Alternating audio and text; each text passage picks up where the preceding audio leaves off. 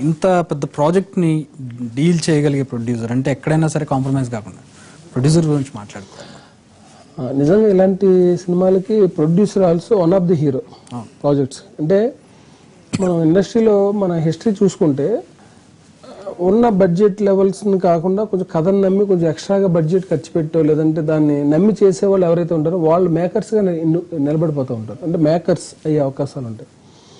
Maker అంటే ఏం లేదు. కథను నమ్మి ఆ రోజు ఉన్న మార్కెట్ కంటే కూడా ఎక్కువ ఖర్చు పెట్టడం.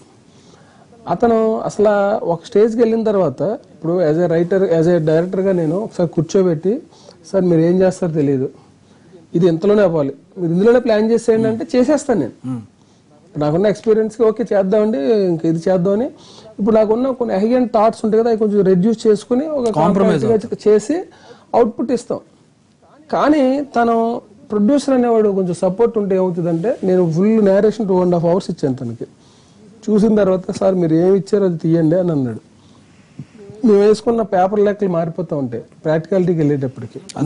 ఇలాంటి ఎందుకంటే నేచర్ రిలేటెడ్ ఇది. ఇప్పుడు మనం ఎక్కడేదో నాలుగైదు హౌసుల్లోనే అంతా మన కంట్రోల్లో ఉన్న దగ్గర అయితే అసలు మేము మా టాకీ పార్ట్ అయితే అలా తీసేసాం. మా సినిమాలో ఉండే టాకీ పార్ట్ ఏదైతే ఉంటుందో అసలు ఎప్పుడు తీసాం మాకే తెలియదు అసలు ఆడుతూ పాడుతూ తీసేసాం.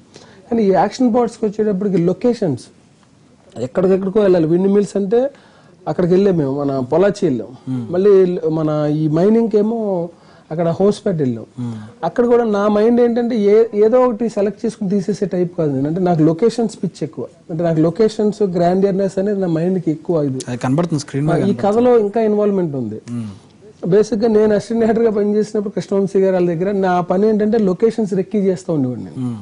సో ఆ ఇయర్స్గా మనం పనిచేసిన ఎక్స్పీరియన్స్ మన మైండ్ అలా తిరుగుతూ ఉంటుంది. అందుకే నేను ఎక్కడికైనా లొకేషన్స్కి వెళ్తే నా కెమెరా పట్టుకుని షూట్ చేసుకోవటం చేయటం.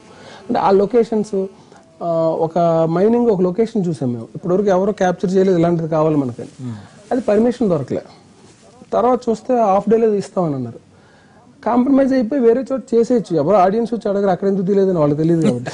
కాకపోతే మళ్ళీ సాయి మేమందరం బ్రదర్ అక్కడ ఒక హాఫ్ డే తీస్తేనే బాగుంటుందంటే వెళ్దాం బ్రదర్ అని daily one and half hour journey చేసి అక్కడికి వెళ్తే ఒక హాఫ్ డేనే రెండు హాఫ్ డేలు చేసుకుని వచ్చాం.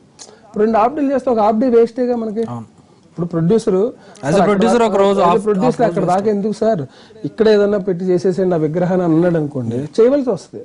కానీ నేను రెండు మూడు ప్లేసులు కలిపితే ఒక ప్లేస్ లాగా పెట్టుకుని ఆ విగ్రహాన్ని తీసుకెళ్ళి మళ్ళీ ఎక్కడో కొండలపైన హైట్లో పెట్టి మీరు మీరు సినిమా చూసినప్పుడు ఆ డ్రోన్ షాట్స్ చూస్తుంటే ఆ గ్రాండ్ ఇయర్ విజువల్ మొత్తం స్క్రీన్ మీద కనబడుతుంది పెట్టిన ఇప్పుడు మనం మైన్ నేను లిరిక్స్ రాయించుకున్నా పంచభూతాల్లో అంటే మణులను గనులను వలచి నువ్వు ఎంత చేసినా ఫైనల్గా నీకు ఆరడిలే ఉంటుందిరా శాశ్వతం అనేది. అంటే అది చూపించాలంటే అలాంటి షార్ట్స్ పడాలి అక్కడ. అంటే ఒక మైనింగ్ ఉంది అది తవ్వేస్తున్నారు. ఇలాంటివన్నీ జరిగిన తర్వాత నువ్వు మళ్ళీ ఇక్కడ అన్నీ చూపించాలన్నప్పుడు మనం చిన్న క్వారీ చూపించామంటే ఆ ఫీలింగ్ రాదు. అంటే నేచర్ అనేది వేస్ట్ కదా ఇప్పుడు కూడా. సో అందువల్ల మనం దాని నేచర్ రిలేటెడ్ లొకేషన్స్కి వెళ్ళటం విపరీతమైన స్టఫ్ అనమాట అంటే అవన్నీ కూడా ప్రొడ్యూసర్ సపోర్ట్ తోటే మనం చేయగలిగాం. యా లేకపోతే అలాంటి అవుట్పుట్